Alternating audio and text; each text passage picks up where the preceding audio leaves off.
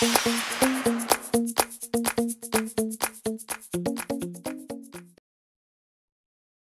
everyone, I'm Michelle Smith and welcome to my channel. I have two Christmas crafts for you today. The tools that you're going to need are your glue gun and glue stick.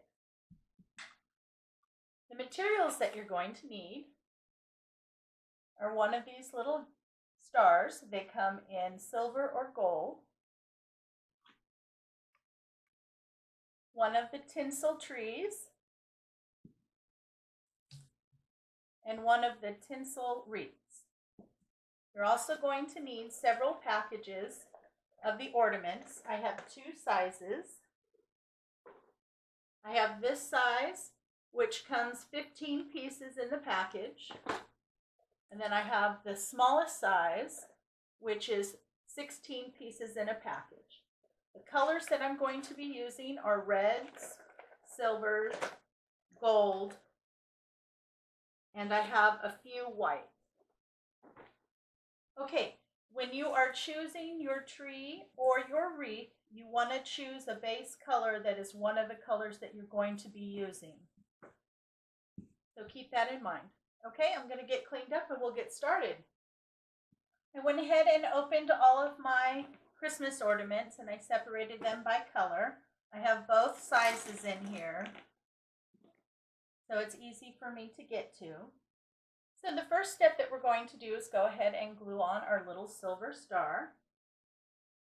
Go ahead and add some hot glue to the very top and slide it on. Be very careful not to burn yourself.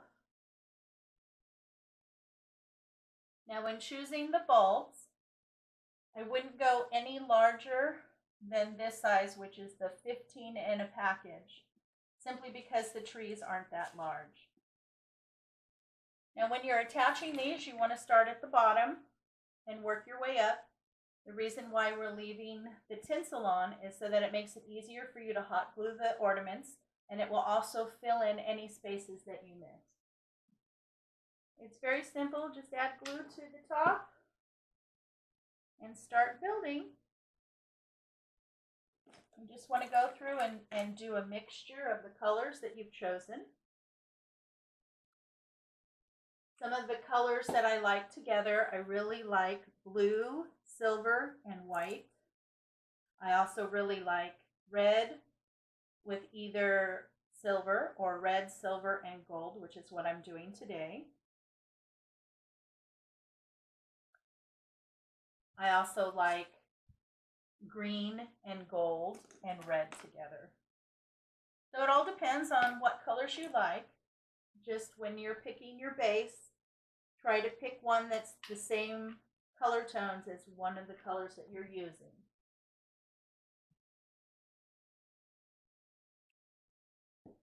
You just want to put a good amount of hot glue around the top and stick it in there.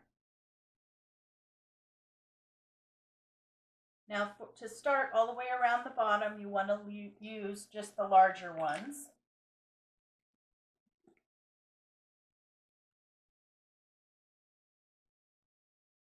If you like crafts, DIYs, and hauls, please make sure to subscribe to my channel. I upload new content every week. If you are on Facebook, I also have a Facebook group, Michelle Smith Creations. There, you can get tips and tricks. You can get sneak peeks on upcoming crafts. You can speak with me directly, and you can post pictures of your own work. Okay, I'm going to work on this a little bit and get some done, and I'll be right back. Okay, so I have attached all of the large balls, and I've just started to attach some of the small balls around the top. now, if you can't find the star, that's okay. You can cover it with large balls all the way up to the top. Now, what I'm going to do is I'm going to go back with the smaller balls, and I'm going to fill in wherever I need to. Okay, I'm going to go ahead and do that. And I'm going to fill in with the smaller balls around the top here too. I'm going to do that and then I'll be right back. Okay, so I have all my small balls glued on. I'm very happy. It came out really pretty. It took three of the large packages of ornaments and almost three packages of the small ornaments to do the tree. Okay, I'm going to get cleaned up and set up and we'll do the wreath next. I have everything open. The first thing I'm going to do is turn the wreath over to the back, take a pair of scissors, and I'm going to just trim some of this tinsel off that's sticking out in the middle.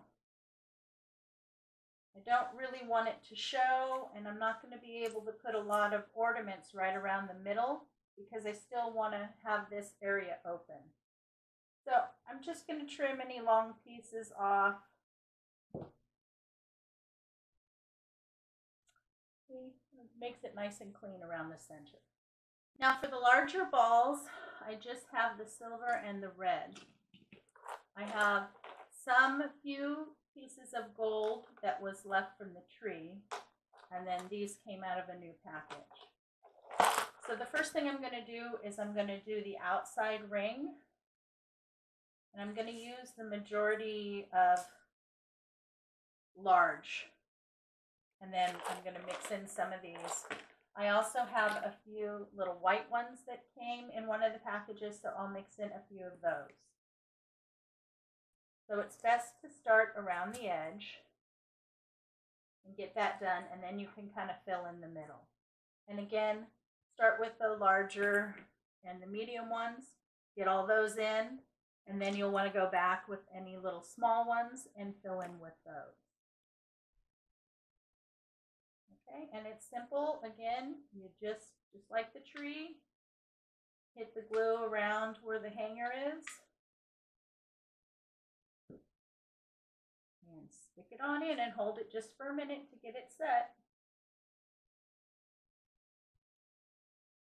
Okay, very simple and easy. I'm going to go ahead and get some done and I'll be right back and show you. Okay, so I've gone ahead and attached everything around the edge. I did go ahead and do a pattern around the edge because I wanted to make sure that I had a good mix of the colors. As you can see, my pattern ended down here but that's okay. As I fill in the rest, I can uh, make that look okay. So I'm going to go ahead and work on filling in the rest, kind of just building in towards the middle. You can go around and do the inside. Usually they do the outside, then you do the inside, and then you fill in on the top. Okay? Okay, I wanted to show you how I was doing. I went ahead and I've done all the way around the outside and I did all the way around the inside and now I'm starting to fill in on top. And I started with my largest ornaments first and now I'm starting to fill in the empty spaces with the smaller ornament. So I start with the largest, then I'll go around with the medium, and then if there's anything else, I'll fill in with the small. Okay, I'm going to finish up and then I'll come back and show you the final product. The wreath is all done. Nice and full, looks very pretty. Now the wreath took a few more packages of ornaments than the tree did. I used three packages of the medium-sized ornaments. I used one more package of the small ornaments and then what was left from the tree. And then I used three packages of the large ornaments. So I had two packages of the red with the stripe and then one package of the mixed silver. So it had a flat silver and a shiny silver. Well, I hope you enjoyed that craft. If you did, please give me a big thumbs up. Thanks so much for stopping by. I hope you have a great day, and I will see you again next time. Take care.